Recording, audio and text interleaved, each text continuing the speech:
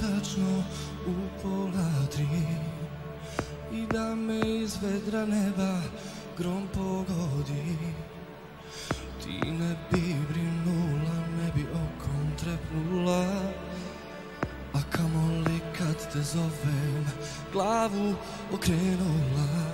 I da snijeg padne po beharu i oču ti u lice kažem ono šta hoću.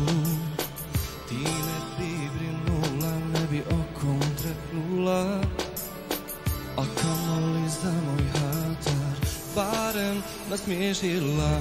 Rano, hajde de Zar ti oči ne vide Zar ti duša ne sluša? Kad kažem da volim te Rano, hajde de Ti oči ne vide Zar ti duša ne sluša Kad kažem da volim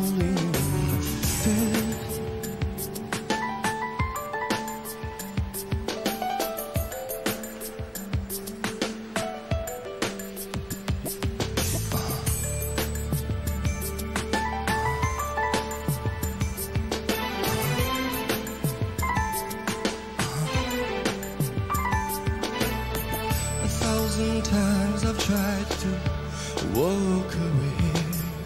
I'm losing my mind about you. What can I say?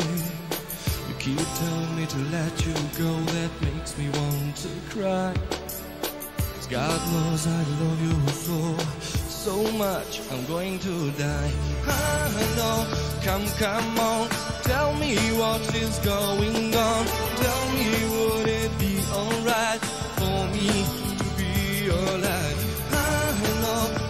Come,